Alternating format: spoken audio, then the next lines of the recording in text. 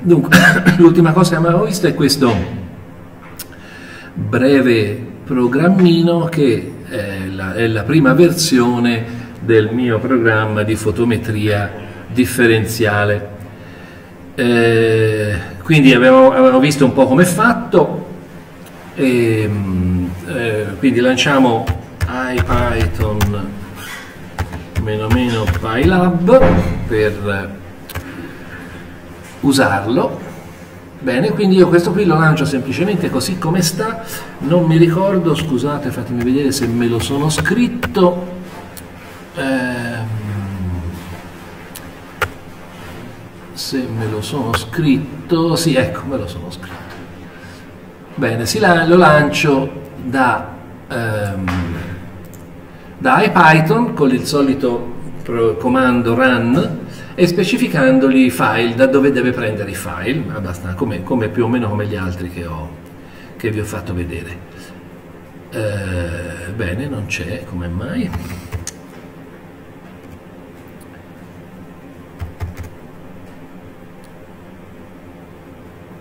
Me lo sono perso. Eh, forza di fare correzioni, ho perso il file originale. Eh, vabbè, eh, funziona anche quell'altro.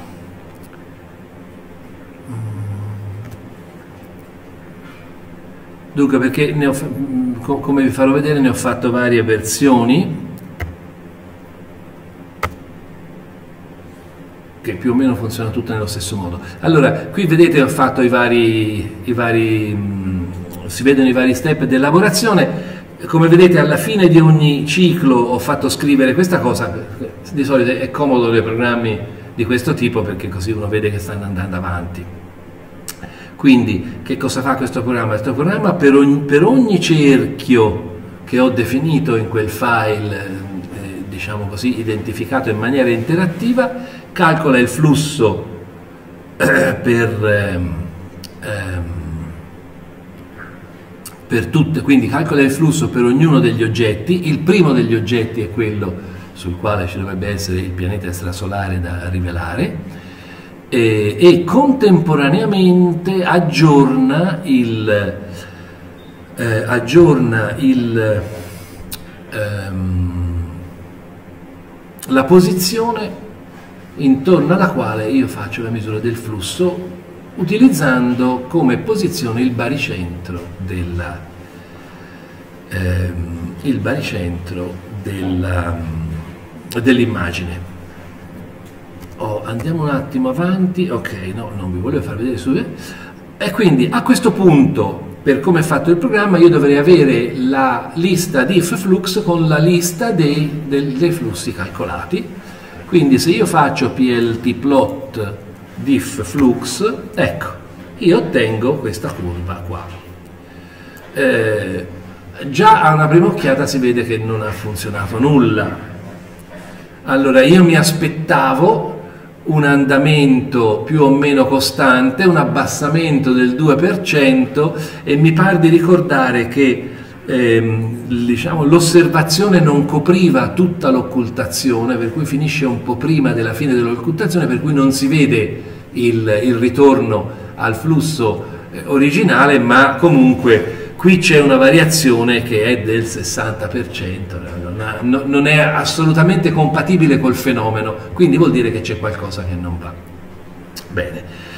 Eh, oh, tanto per darvi un'idea di come invece funzionano queste cose, volevo vedere se riesco, non troppo, in maniera non troppo complicata, a... Eh, dunque eh, no, forse non ci riesco in maniera non troppo complicata. No, volevo spiegarvi un po' queste, queste cose con cui io prendo... Beh, proviamo. Allora, dunque, io dovrei avere eh, una, una, variabile c data, forse ce l'ho, che... Ok, sì, qui, eh, queste qui sono i centri delle... Ehm, i centri... Ehm, dei cerchi che io prendo in, in esame, no? Intor intorno agli oggetti. Adesso se io apro un'immagine con, ehm, faccio img uguale, oh no, devo prima importare eh, importare quindi from astropy.io import fix e poi prendo l'immagine img uguale fix.getData da work slash oh, img 001.cal ah no, eh, non devo usare fix get data perché ce l'ho calibrate quindi è np.load questo è il modo per leggere immagini calibrate work slash img-001.cal apice eccolo qua ok. Eh, quindi ho l'immagine, volevo farvi vedere il funzionamento della, della, di questa misura del flusso che ho usato nella mia funzione, tanto per darvi un'idea di come funzionano queste. Quindi io devo fare un import di queste funzioni da phototils, ok? Poi mi genero l'apertura e me la genero, me la genero intorno all'oggetto principale che è questo, va bene? Quindi io scrivo così, tanto per che si fa prima, chiusa parentesi, virgola, eh, vuole il raggio, che io mi ricordo avevo messo a 50, quindi l'ho chiamato Aperture, scusate mi sono dimenticato la A, ma tanto non importa perché lo uso a mano, quindi mi faccio la fotometria sull'immagine, allora come avete visto io ho aperto, ho preso i dati dell'immagine numero 1 dentro IMG, eh, definito l'apertura circolare sulla quale fare fotometria e poi la chiamo. Chiamo la, la, la funzione aperture photometry. E vado a vedere volevo, la ragione che volevo farvi vedere come è fatto questo FLX.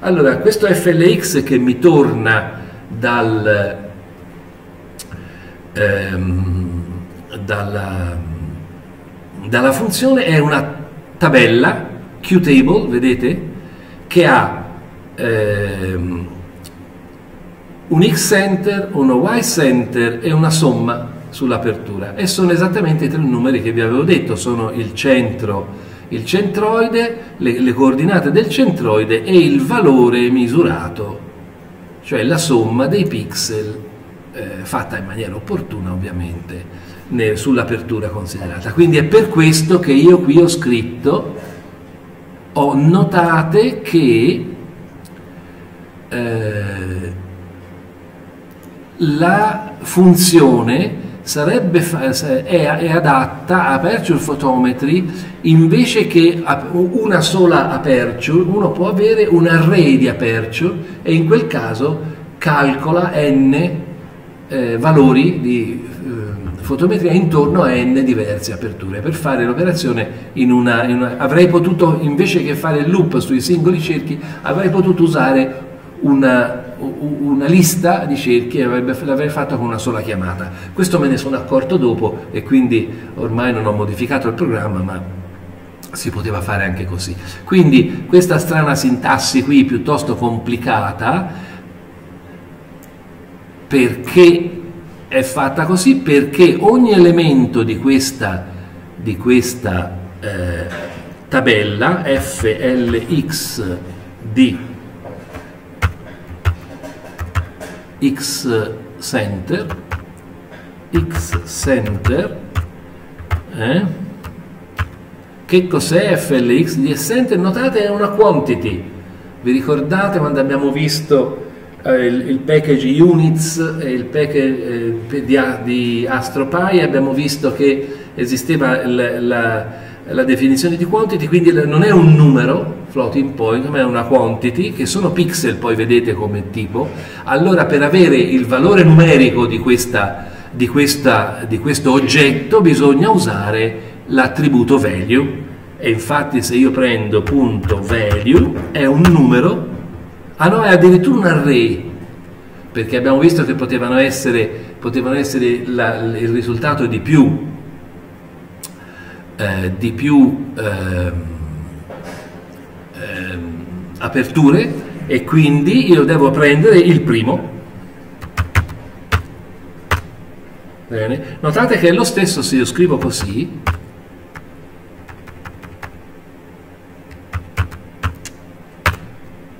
perché eh, una colonna è a sua volta indicizzabile come un array, ma quando io prendo il value, quello che mi ritorna, se la colonna è una lista di oggetti, mi torna una lista di valori floating point. Quindi posso mettere l'indice 0 alla colonna o al, al, al, alla lista di floating point che mi ritorna quando, do, quando ci prendo l'attributo value. Eh. Quindi questi valori sono la, la, la, diciamo, il valore in numero floating point del, delle, delle posizioni. Allora, per tornare alla nostra cosa, ho detto che questa roba qui eh, non, è, non, è, quello che mi aspettavo, eh, c'è, c'è, sicuramente qualche cosa di sbagliato. E allora io, naturalmente, eh, dobbiamo andare a capire come mai abbiamo, dov'è che abbiamo sbagliato. Dov'è che abbiamo sbagliato? Allora mi sono detto, perché eh, andiamo a vedere cosa succede alle singole stelle. Questo qui è il risultato della divisione del flusso della stella principale per la somma delle altre, andiamo a vedere le altre cioè tu, stella per stella come sono i, ehm, i flussi. E, e, quindi ho modificato il file photometry, quello che avete visto nella pagina precedente, l'ho chiamato photometry.1, aggiungendoci un, un, un paio di eh, dettagli. In particolare ho aggiunto questa lista per metterci flussi stella per stella. Bene? Quindi, come vedete, il codice è, esattamente lo stesso, soltanto che quando io mi calcolo i, i flussi per, di tutte le stelle per ciascuna immagine, lo metto, lo appendo anche alla lista dei flussi qui, questo star fluxes, oltre che, oltre che mh, eh, calcolare il valore del, del, fotometrico, della fotometria per la fotometria differenziale e metterlo come prima nella variabile diff flux. Ora, siccome non ho girato la versione, eh, la versione, la, la, la versione della pagina precedente, ma ho già girato questo fotometri.1, non importa rigirarlo da in, in IPython, quindi io già qui dentro questo star fluxes ho ehm, immagine per immagine il flusso misurato su ciascuna stella con il, la funzione aperture photometry. Bene. Quindi che cosa facciamo? Facciamo, prendiamo questi flussi. Eccolo qua. Oh, perché faccio questa chiamata? E le chiamo star? Eh, perché star fluxes, aspetta, un attimo, star fluxes, vediamo il primo elemento di questa, di questa lista. Star fluxes di 0 è fatto da 1, 2, 3, 4, 5, 6, 7, 8 valori e sono i flussi per ciascuno degli 8 oggetti che io sto misurando. Siccome io voglio fare un plot dell'andamento nel tempo del flusso di ciascuna stella, io l'ho trasposto per avere in star io ho star di 0 elemento per elemento uh, stars come l'ho chiamato con l'S stars scusate stars di 0 stars di 0 è una lista dell'andamento del flusso per la prima ho fatto la trasposta di, di quella um, di quell'array dell'array ok? Quindi per vedere l'andamento stella per stella non faccio altro che fare un plot degli elementi, quindi prendo il primo, questo è il target principale, eccolo qua, che come vedete è già brutto di suo, questo è il secondo, uh, facciamo così, uno, poi il terzo. 3 eh, mettiamone un altro. Insomma 4 ok? Già da qui si vede che cos'è successo. Eh, è successo, io mi aspetto che le variazioni di flusso nelle stelle, non tanto nel primo oggetto che dovrebbe essere variabile perché c'è l'occultazione, ma se detto l'abbassamento dovrebbe essere del 2%, ma le, le, altre stelle che noi diamo per costanti come flusso, hanno invece un, un abbassamento a partire dal, dal, dall'immagine di, di, indice 300. Eh, bene, a, a, che cosa è dovuto questo abbassamento? Secondo, è abbastanza chiaro, è dovuto al fatto che io ho fatto male il recentering, ovvero sia io non sto ricentrando le immagini, le immagini piano piano mi vanno fuori dalla zona del misuro, io mi si abbassa e come vedete mi aumenta anche il rumore ovviamente perché eh, a, a, seconda di come, di come si sposta eh, perdo parte del, dei fotoni che dovrei misurare. Bene, quindi chiaramente qui evidentemente è il mio sistema di centraggio che non c'entra. Come mai non c'entra il sistema di centraggio? Allora, io ho, ho modificato, il, eh, ho modificato la procedura time lapse per vedere questi centri che io mi sono calcolato come si muovono. Bene? Infatti che cosa faccio qui? Come vedete è uguale a quella di prima, ma qui questi due plot cosa fanno? Tracciano una croce in corrispondenza del punto in cui, che io considero come il centro del, dell'immagine sulla quale fare fotometria. Eh, quindi io guardo quelle croci come si muovono. Quindi facciamo, usciamo da qui e lanciamo eh, questo time lapse 1 che mi pare si lanci con ehm, sì, eccolo qua quindi python 3 timelapse 1.py meno di work ecco qua l'immagine come prima ah, l'ho fatta solo sulla prima eh, tanto eh, diciamo, l'immagine, si sposta tutta bene. Questo, qui stiamo andando, vedi 28, 29. Oh, io sto anche scrivendo il, il valore numerico della posizione di quella croce e come vedete è bello costante, non si muove. Io mi aspettavo che, eh, e, e, infatti eh, oh, qui possiamo andare un po' avanti, ma si vedrà che piano piano quel, quella croce si sposterà e, e finirà fuori dal centro della, dell'oggetto che io sto misurando. Quindi mi sono detto come? Io mi aspettavo, questo è il centro prima e questo è dopo l'aggiornamento, no? l'ho calcolato nei due eh, e non c'è nessun aggiornamento.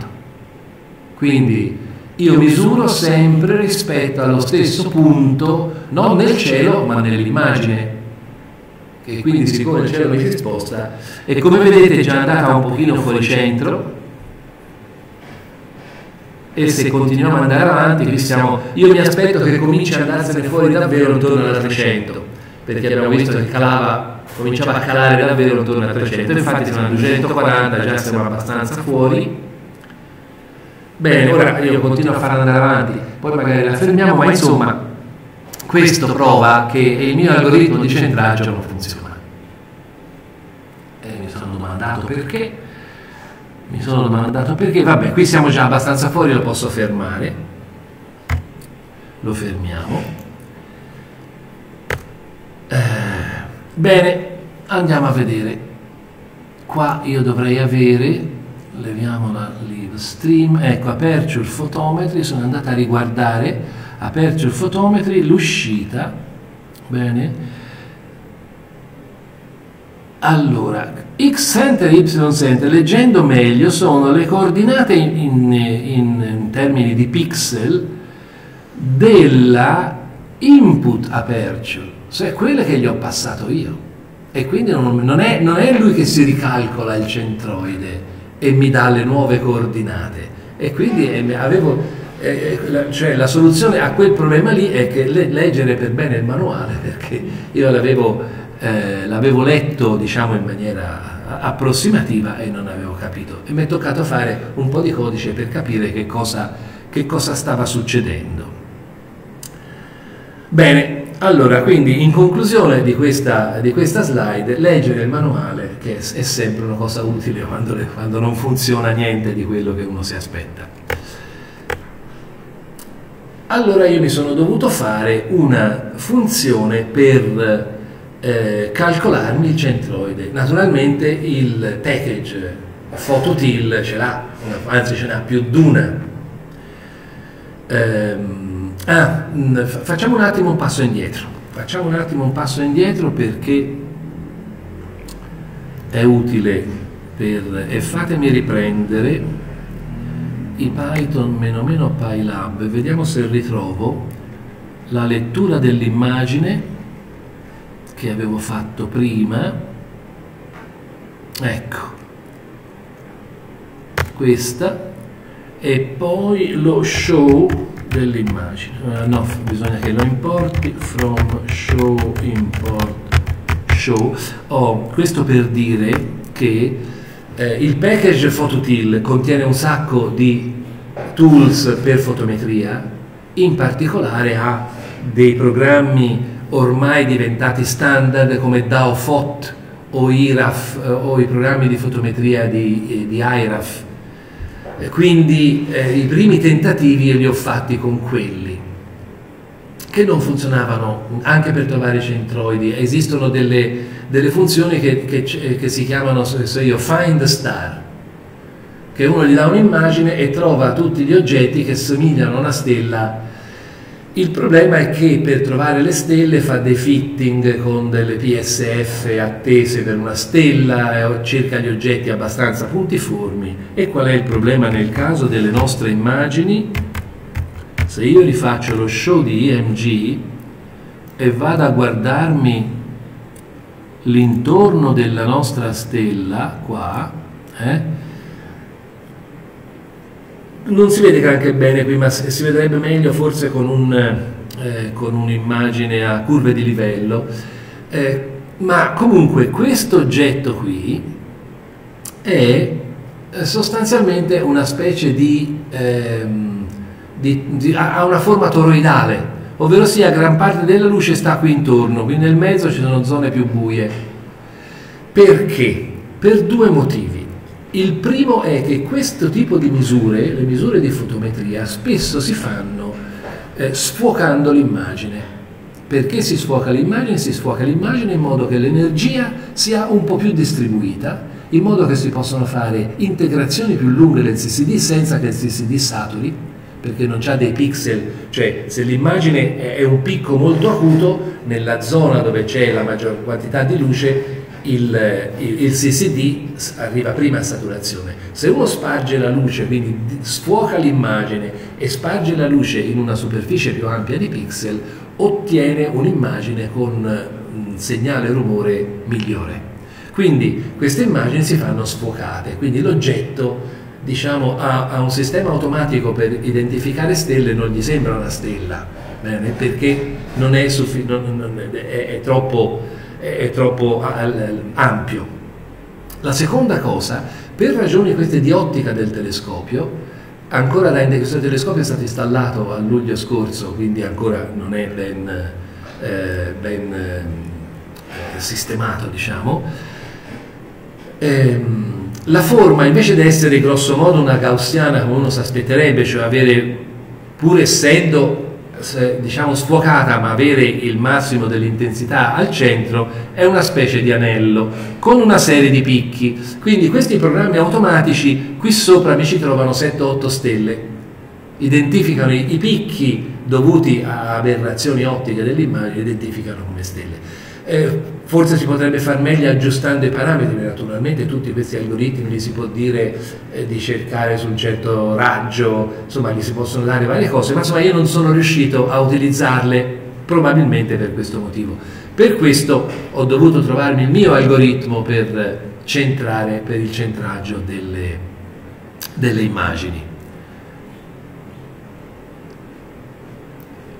Quindi eh, questa è la ragione per scrivere questa funzione eh, centroide. Oh, questa funzione che cosa fa? Questa funzione prende come argomenti l'immagine e la definizione del centro x, y, cioè posizione, posizione x, y e raggio. Bene?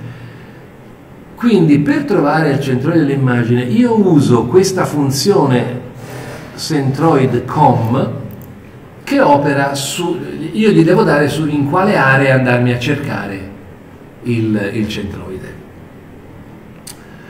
Eh, il centroide viene trovato col, col metodo dei momenti, ovvero sia vengono sommati i pixel moltiplicati per il vettore della distanza da, dal centro e viene trovato, eh, viene, come, si, come, si, calcola il baricentro di un, eh, di un oggetto bidimensionale, va bene? In, qui invece di usare come intensità, come usare la massa, si usa l'intensità luminosa.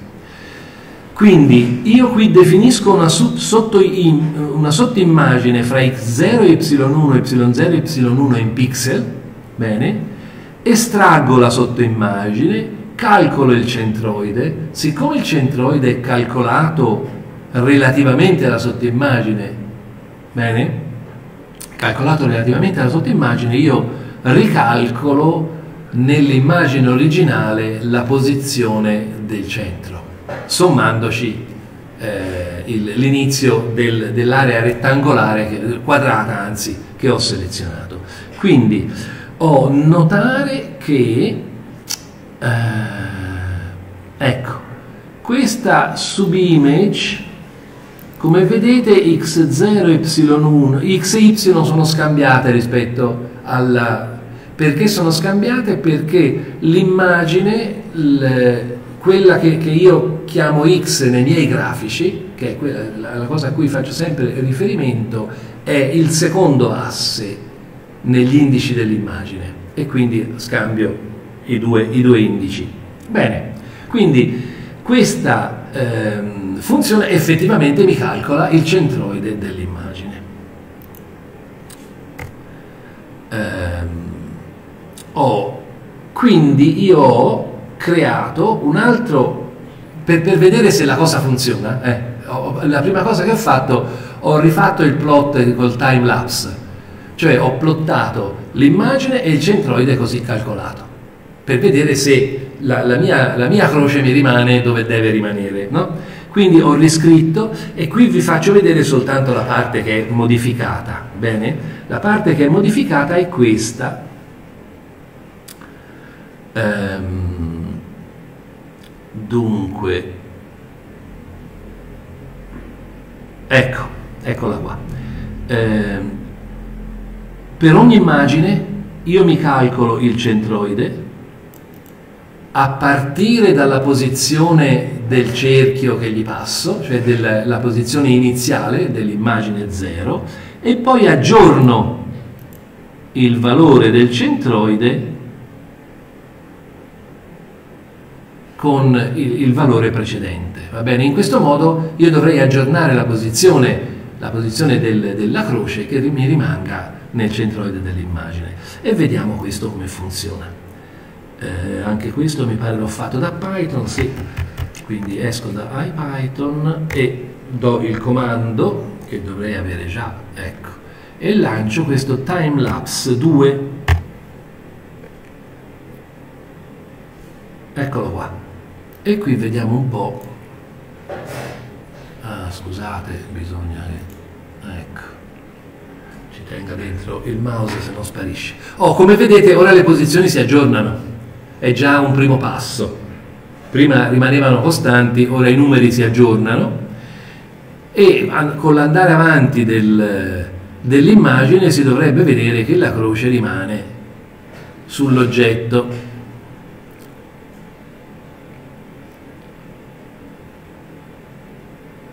Ormai ve lo faccio andare tutto così, così vediamo se... E comunque siamo alla, alla, alla 100 eh, già si vede che funziona meglio di quell'altro. Ora arriviamo intorno a 300 che era dove avevamo, avevamo il problema con eh, il precedente algoritmo sbagliato.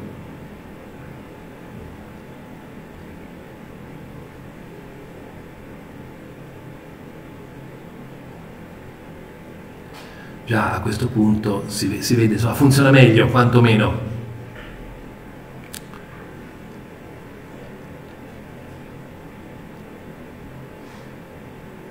Vedete, si vede che l'immagine si sposta perché quel puntino bianco leggermente, ora non so se lo vedete sullo schermo là, c'è un puntino bianco in alto leggermente a sinistra che si sta avvicinando perché l'immagine drifta, cioè no, si sposta lentamente eh, rispetto, rispetto, al CCD. Ecco, qui comincia a funzionare un po' peggio, eh? siamo alla 336 e siamo sempre sopra, quindi siamo sempre vicini al centro, ma l'idea è che si sia un pochino spostata, però insomma dovrebbe andare abbastanza bene. la croce sostanzialmente rimane sopra l'oggetto.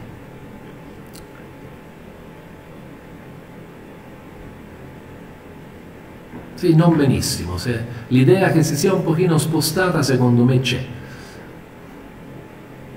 E comunque adesso verifichiamo con, rifacendo, rifacendo la fotometria con questo, con questo valore. Siamo alla 400. Beh, fermiamolo qui. Io mi sono accorto che non so perché dando un carattere va, da, da, un errore esce. Non l'ho programmato io. È una, una eh, cerca di fare un update e, e dice che, stato, che viene distrutto. Bene. Uh, quindi abbiamo visto che abbiamo eh, aggiustato l'algoritmo in modo da centrare meglio il, il, le, le zone dove fare la fotometria e quindi ho creato un file che si chiama fotometria 2 e vediamolo un momento. Allora cosa facciamo? Io gli passo la posizione del cerchio, cioè la posizione del, dell'oggetto che sto esaminando e la prima cosa che faccio è rispetto a quella posizione mi calcolo il centroide con la mia nuova funzione e uso quello per impostare l'apertura circolare sulla quale fare fotometria e alla fine aggiorno il valore in modo che al passo successivo io comincio dal punto in cui mi trovo adesso. Eh? Questo dovrebbe essere sufficiente per inseguire. Dopodiché l'ultima parte, cioè il, il fatto che io riporto indietro il flusso, è uguale. Quindi ho modificato semplicemente questa, eh, questa, questa funzione eh, flux eh, per eh, ehm, per calcolare il centroide invece che utilizzare quei valori che poi si sono rivelati non corretti per calcolarmi effettivamente il centroide dell'immagine. Quindi la facciamo girare e la facciamo girare questa da Python perché così abbiamo anche e qui facciamo per 100 run fotometri 2 io vedete utilizzo il allora meno di work. Bene mi fa tutte le, le elaborazioni su tutte le immagini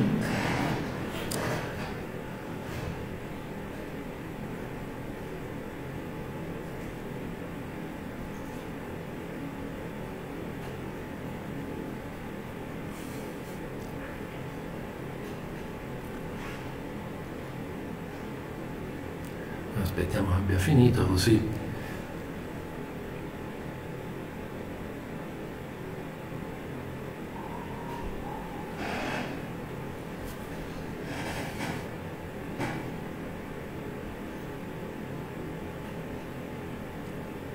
Ecco abbiamo finito.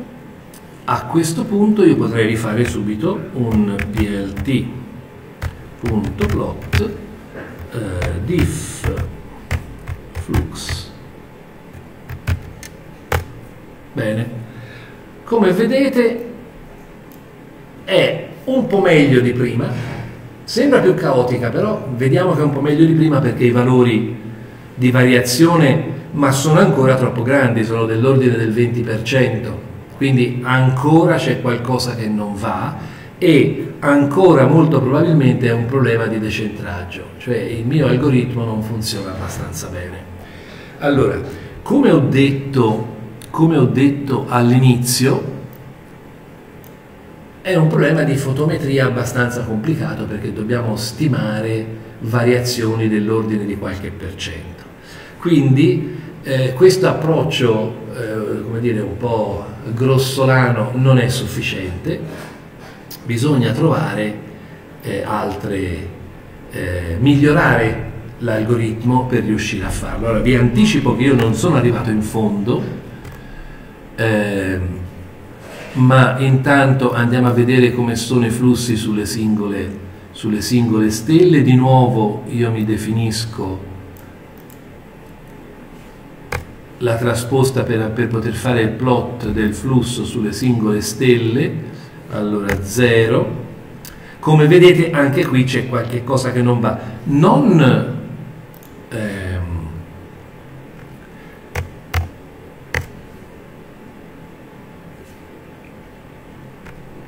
due. Lo stesso, diciamo, il, il fenomeno che abbiamo visto prima è diminuito, ovvero sia eh, gli effetti del centraggio sono meno eh, rilevanti, ma eh, sono, ancora, eh, sono, ancora, tali che, che, non mi consentono di fare la misura che io vorrei fare.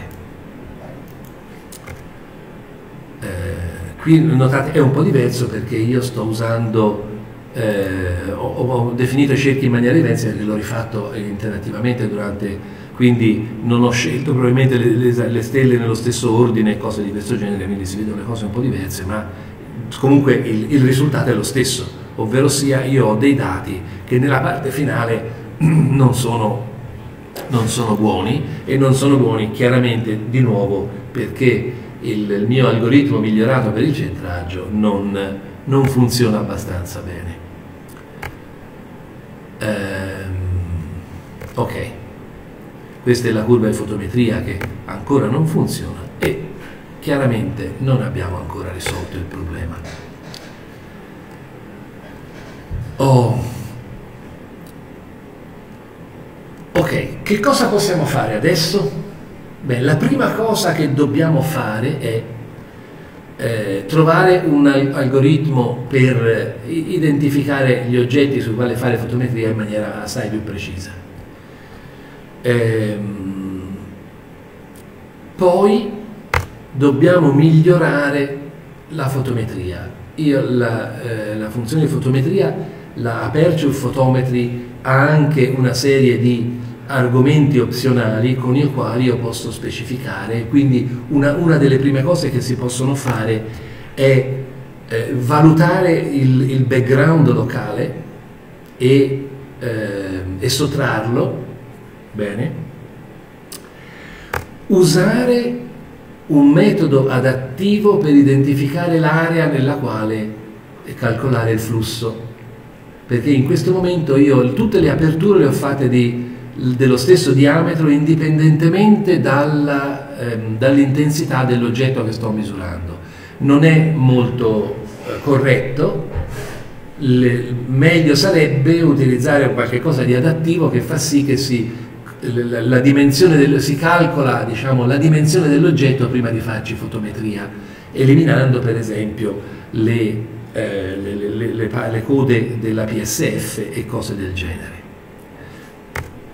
Poi si potrebbe aumentare il numero di stelle eh, prese in esame,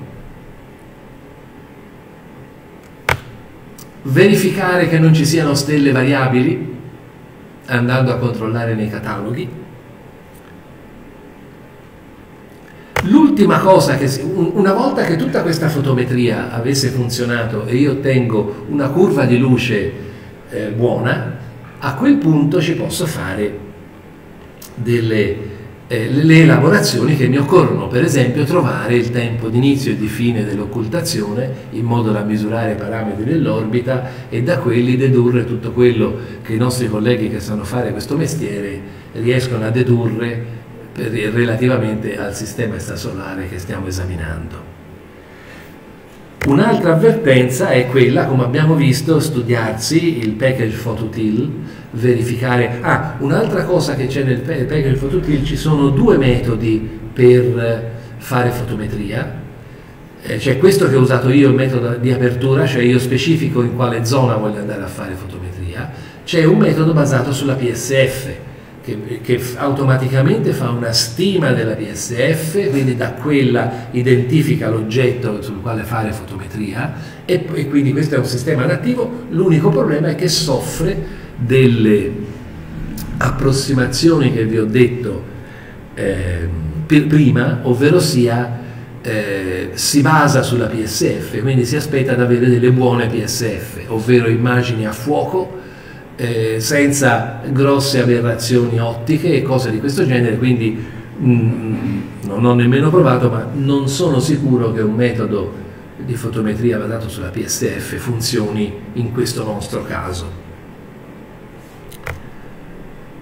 Ok, eh, tanto per continuare, oh, mm, vi, vi, anticipo che non sono arrivato in fondo alla, eh, a una soluzione eh, del problema, ma eh, diciamo, ho pensato come un altro modo con cui si potrebbe eh, affrontare. Allora, io eh, praticamente mi sono basato sul fatto che ho dato per scontato che ehm, lo spostamento dell'immagine dovuto alle imperfezioni di inseguimento del telescopio sia sostanzialmente lineare, ovvero sia data la, la posizione del centro della prima immagine, la posizione del centro dell'ultima immagine, lo spostamento, fra, fra, fra, ci sia uno spostamento lineare immagine per immagine, sia uno spostamento lineare fra le due posizioni. Questo è abbastanza ragionevole se per esempio il, il, mo, il, il problema è un errore sul motorario.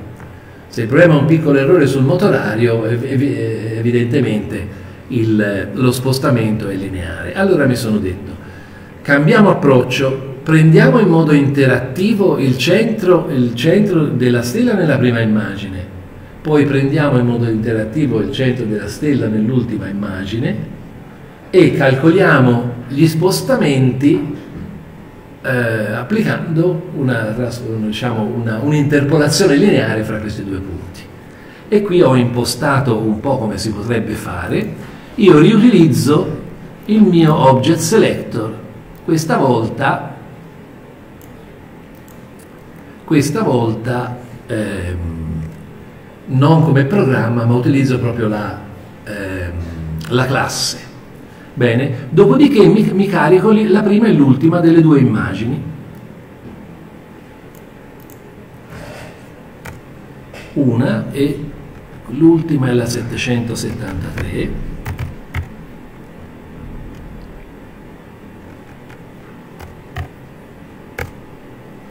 Bene.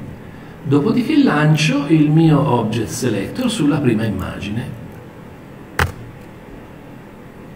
Perché è venuto questo? Non lo ah, perché c'era già su. Bene, eccolo qua e poi faccio lo start del loop interattivo. Ecco, e qui io ho la mia immagine. Allora vado a selezionare la stella. E qui sarebbe comodo, come avevo detto, poterlo cancellare perché mi sarebbe piaciuto centrarlo un po' meglio ma potrei provare a dargli un secondo colpo e poi tanto farlo a mano. Ecco, diciamo che sia questo. Bene, termino col tasto destro e a questo punto dentro cell.circles ho i due punti che ho selezionato. Prenderei il secondo che mi sembrava un po' meglio centrato, d'accordo? Quindi io mi definisco una variabile cerchio numero 0 prendendo quella componente che mi pare migliore. 1 bene poi rifaccio la stessa cosa sulla seconda immagine che vi, che vi ricordo è l'ultima della sequenza Bene? Ma questo fatemelo chiudere che tanto non mi serve. Questo è quello che voglio. Qui faccio cell.start, lancio il loop e vado a prendermi la posizione della stella. Oh, qui mi avrebbe fatto comodo avere, avere eh, la possibilità di ingrandirlo interattivamente in modo da vederla meglio, insomma quelle cose che avevo detto sarebbe bene averle nel, nel, implementate che io non ho implementato. Qui direi che adesso va bene, esco, di nuovo definisco circ1 come la prima componente dei chain, ho fatto uno solo questa volta, quindi ho quindi circ0, eccolo qua, e circ1 eh, io mi aspetto che il, le posizioni nelle, nelle, ai, ai, vari step siano un'interpolazione fra questi due punti e quindi mi calcolo i due vettori per fare l'interpolazione. Oh, come mai qui non ce l'ho? Ah, perché ce li ho sotto. Ah, I due vettori, eccoli qua. Utilizzo una funzione di... Bene?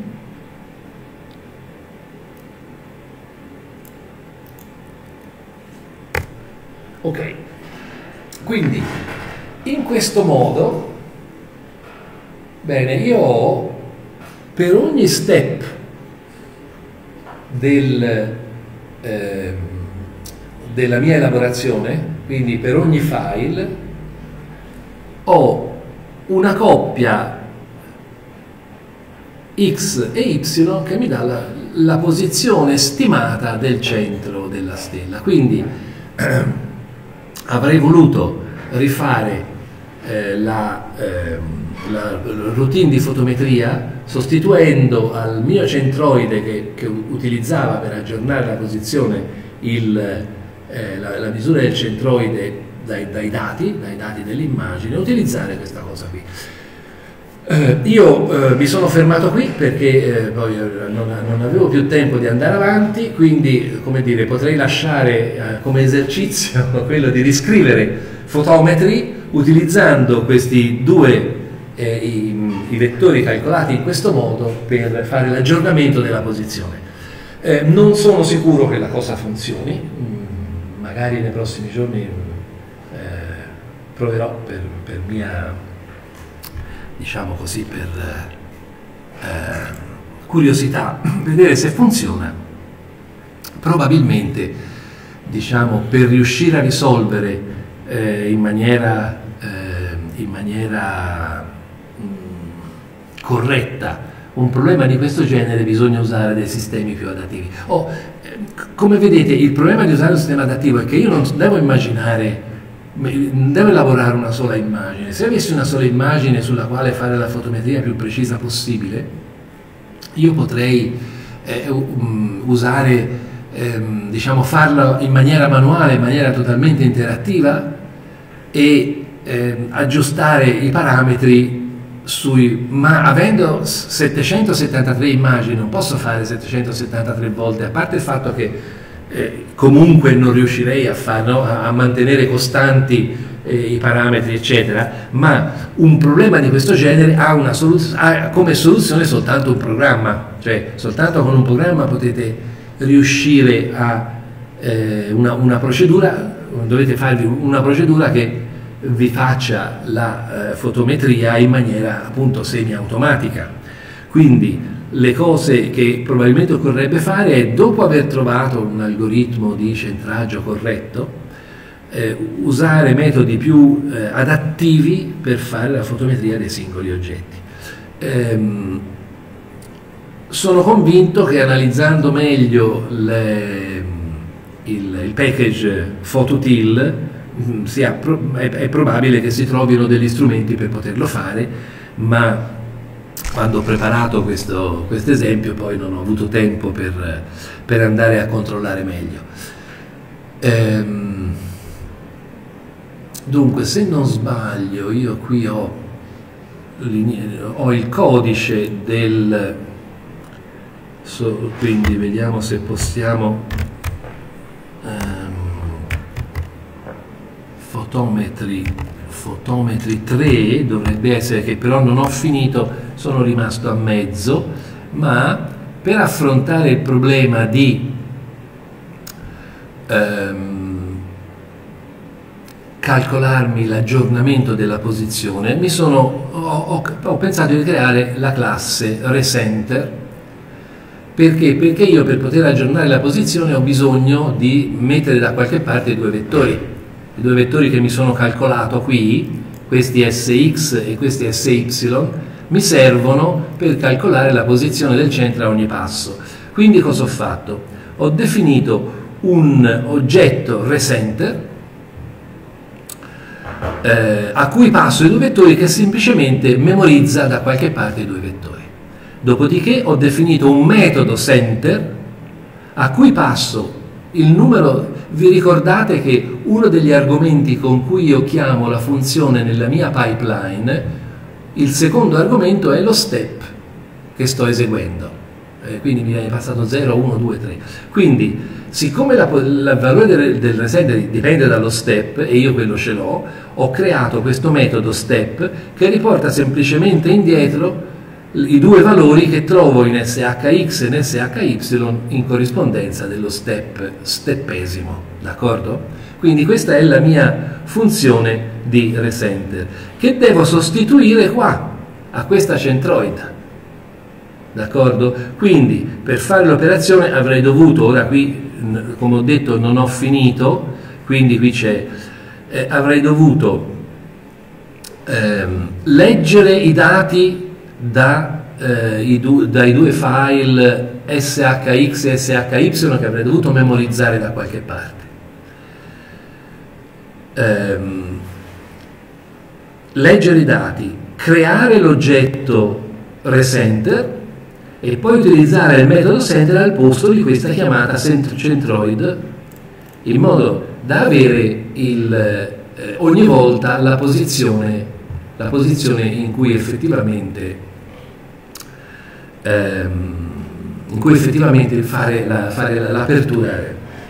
Bene, come ho detto non ho finito questo, ehm, sono convinto che ancora non sia sufficiente, il passo successivo da fare sarebbe ehm, una valutazione della dimensione dell'oggetto, cioè di quanti pixel occupa l'oggetto. Per questo c'è la funzione, se non ricordo male, l'ho trovata sicuramente in un altro package, ma c'è eh, anche nel, in, Phototil, quindi prima di fare la, la, misura del flusso eh, sarebbe opportuno, eh, una volta trovato determinato il centro dell'apertura, determinare anche il raggio dell'apertura sulla quale fare la fotometria per migliorare la precisione diciamo fotometrica degli oggetti.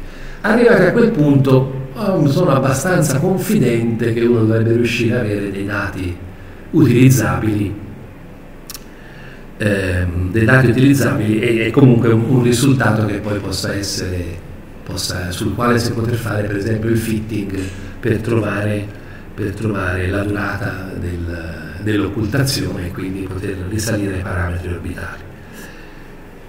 Allora, con questo io eh, diciamo terminano le mie slide. Eh,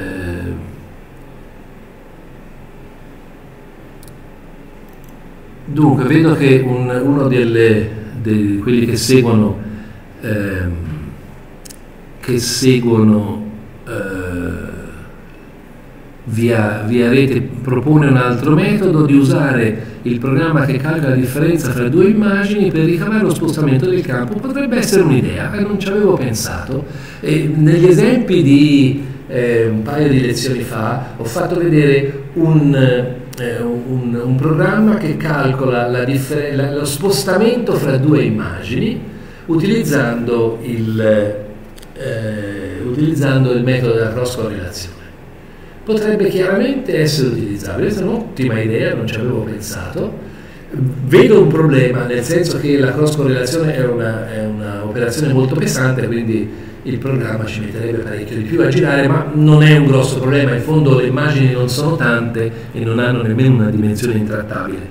Probabilmente è, è, sicuramente il metodo migliore del mio, questo ultimo che ho pensato, quindi mi congratulo con, eh, con il nome che vedo è quel passo di Pluto, eh, ma i nickname che si usano in rete, diciamo, chiudiamo un occhio su eh, diciamo sul nome, eh, potrebbe essere un'idea, sì, sono, sono, d'accordo.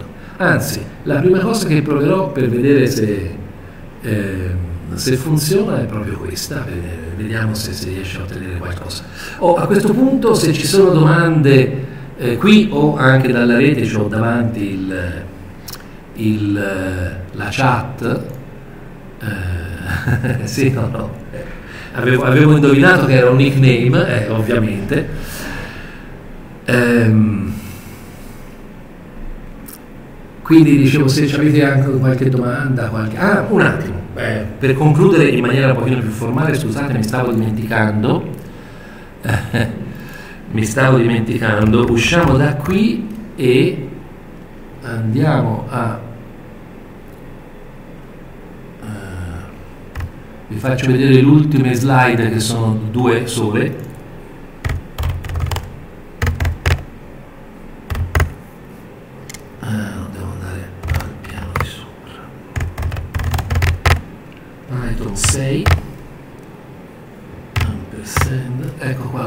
Conclusione. Eh, eh, questo è importante. Allora, c'è un, un, grosso argomento che non ho trattato e che non tratterò perché eh, non, non, si può fare tutto, è Jupiter.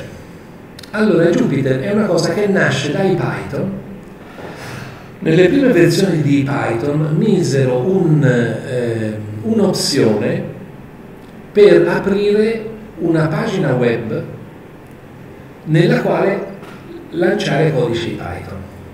Bene? Eh, diciamo, è diventato così di successo che ne hanno fatto un package a parte che hanno chiamato Jupyter. Quindi che cos'è Jupyter?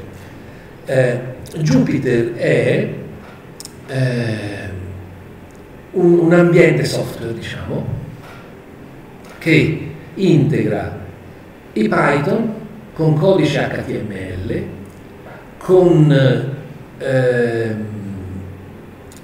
eh, il, il, risultato è uno può avere una pagina web nella, in, interattiva nella quale può scrivere testo, quindi commenti, cose di questo genere, eh, scrivere formule matematiche, quindi sempre, sempre testo ma anche testo abbastanza complesso in modo che uno possa fare inserire pezzi di codice che interagiscono con la pagina web producono grafici, eh, quindi uno riesce in questo modo a fare una pagina web dinamica nella quale girano pezzi di codice Python. Quindi la stessa cosa che io ho fatto, ho fatto vedere con le slide, uno potrebbe farla in maniera più dinamica con il sistema Jupyter, in cui uno per esempio mostra l'uso di Python per fare fotometria in una pagina interattiva e chi vede la pagina può andare a cambiare codice, può farlo girare, vedere il risultato. Quindi è, è un sistema, diciamo, per la didattica molto potente in cui uno potrebbe fare un'intera lezione di eh, eh, so io, spettrofotometria preparata in questo modo con un sistema interattivo in cui uno può cambiare al volo e fare cose diverse ogni volta perché la pagina è dinamica e quindi consente di modificarsi nel tempo. Eh, Jupyter, come i Python, supporta anche altri linguaggi oltre a Python. Di questo non so niente, l'ho solo letto sul manuale, non, so, non saprei, però eh, il, il sistema è diventato così diciamo, generale che le, le, stesse cose si possono fare con Python oppure con altri linguaggi, suppongo Java o, o altri linguaggi di tipo, di tipo analogo. Quindi di questo non ho parlato, voglio solo fare l'accenno perché può essere interessante uno può... Eh... Bene, dopodiché c'è un po' di bibliografia eh, commentata, eh, poche cose da dire, eh, soltanto che il, i, i, due tutorial della versione 2 e della versione 3 sono buoni punti per cominciare Python perché sono passo passo, sono dei tutorial, quindi cominciano dalle cose semplici e fanno un quadro generale eh, ma elementare del, dell'uso di Python. E poi ci sono un po' di libri un pochino più diciamo, vicini alle cose di cui abbiamo parlato e sono questo Python for Data Analysis eh, che diciamo copre più o meno gli argomenti di cui abbiamo escluso AstroPy, ma eh, gli strumenti abbiamo, di cui abbiamo parlato sono, diciamo, sono ben descritti e, e trattati. Eh, c'è questo Python Scripting for Computational Science che è però un po', almeno io sono riuscito a trovare, l'ultima versione sono riuscito a trovare, è un po' obsoleta, quindi essere utile, ma eh, non copre Python 3, insomma le cose più avanzate. Eh, c'è una guida NumPy di cui quella, la, vec la vecchia versione è, è, scaricabile in PDF, mentre quella nuova, che, che io sappia, sia, è disponibile soltanto se uno se la compra. Eh, vabbè, poi ci sono queste altre, queste altre cose. Ah, un, un famoso eh, manuale Diving to Python che copre eh, caratteristiche anche avanzate di Python, quindi è molto abbastanza approfondito e ce n'è una versione 3 che, che è disponibile in, uh, online. E poi c'è questo libro che vi segnalo perché l'ha scritto un nostro collega di Cagliari. È un libro abbastanza ben fatto anche se diciamo ehm, è orientato più agli aspetti formali del linguaggio, alle definizioni formali, anche se è una guida completa, abbast- abbastanza orientata alla parte formale del linguaggio, quindi se uno vuole eh, capire qualche cosa di come, di, come di, di come, viene fuori l'architettura del linguaggio, quello è un buon aiuto. Infine un po' di, eh, di risorse sul web, queste dovrei averle fatte come eh, anche cliccabili, quindi ecco dovrebbe funzionare. Questa è la pagina ufficiale di Python in cui trovate tutte le informazioni più aggiornate, ce n'è una versione italiana, eccola qua, di solito la versione italiana è un po' indietro rispetto perché è, una è sostanzialmente una traduzione, quindi eh, tende a essere meno aggiornata della, della versione eh, originale. C'è il repository delle il repository delle applicazioni Python di cui abbiamo già parlato, questo qui è la, la, la parte in cui si può, diciamo, si, può, andare a vedere in rete, e questo repository è quello automaticamente usato quando, quando si usa il comando pip per installare, eh, per installare package Python. Eh, ecco, c'è la pagina ufficiale di Numerical Python dove trovate anche tutta la documentazione eh,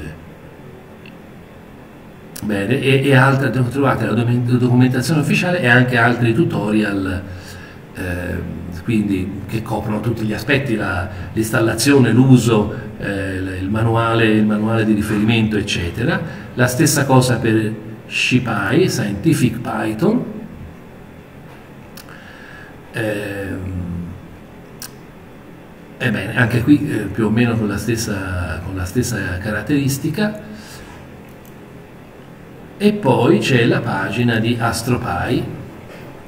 AstroPy è il, il sito ufficiale dove c'è il, il, codice, il codice di, di AstroPy, si può fare il download, ci sono tutte le documentazioni, discussioni, eh, vi spiega che alcuni package, per esempio il, il package PhotoTils è abbastanza in fase di sviluppo, ovvero sia riceve aggiornamenti piuttosto frequenti e, e non tutte le cose sono, eh, sono diciamo stabili, abbastanza stabili. Avete un elenco qui dei package affiliati. E qui come vedete ce ne sono un certo numero di questi, noi abbiamo visto AstroQuery, abbiamo fatto un po' di, avevo fatto una, un esempio usando AstroQuery. E qui abbiamo, ah, questo, abbiamo questo package Ginga che l'ho, eh, in un primo momento ho, mh, ho, provato ad usarlo per fare questi, questa cosa di fotometria perché è un package per visualizzazione di immagini, FITS, da file FITS, però dentro ha anche tutta una serie di eh, tools per fare fotometria, trovare, trovare oggetti in un'immagine, eh, trovare il centroide e cose di questo genere, quindi i primi esperimenti li ho fatti con quelli, poi diciamo, non erano sufficientemente avanzati. E, è piuttosto, io l'ho, utilizzato e ho visto, è, una, è, piuttosto carino, è una, um, una, un display interattivo in cui si può visualizzare l'immagine, prendere sottoinsiemi, farci piccole elaborazioni, quindi è come tool interattivo per, per visualizzazione e un po' di manipolazione di immagini è piuttosto, è piuttosto comodo e l'altro che abbiamo visto è PhotoUtils, eccolo qua.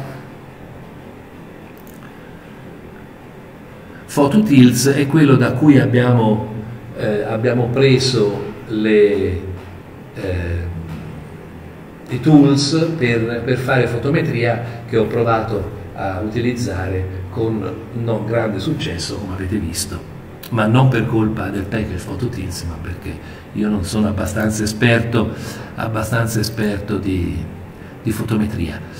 Ehm, a questo punto davvero se ci sono altre domande fatemi chiudere qua guardo se ecco se anche dalla, da, in rete dal, da chi segue in streaming ci sono domande aspetto qualche minuto e poi se no concludiamo qui questa serie di lezioni. Oh, ah, volevo avvertirvi che eh, il, um, il, ho, ho, aggiornato le, la pagina web ieri sera, quindi se eh, queste ultime cose di cui ho parlato le trovate solo nell'ultima versione, non le trovate nelle versioni precedenti, quindi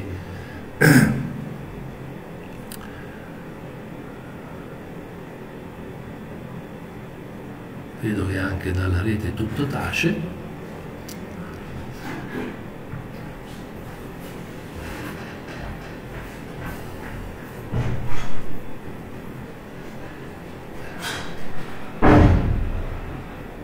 va bene allora direi che possiamo possiamo concludere qui.